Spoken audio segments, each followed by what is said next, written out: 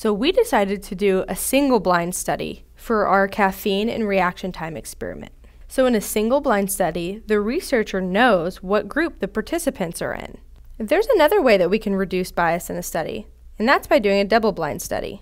So in a double blind study, neither the researcher nor the participants know what group they're in. This will further reduce bias by controlling for experimenter expectancy effect. For example, let's say instead of looking at caffeine's effect on reaction time, we want to look at the effects of kindness. Well, maybe I, as a researcher, believe that caffeine does make people more friendly.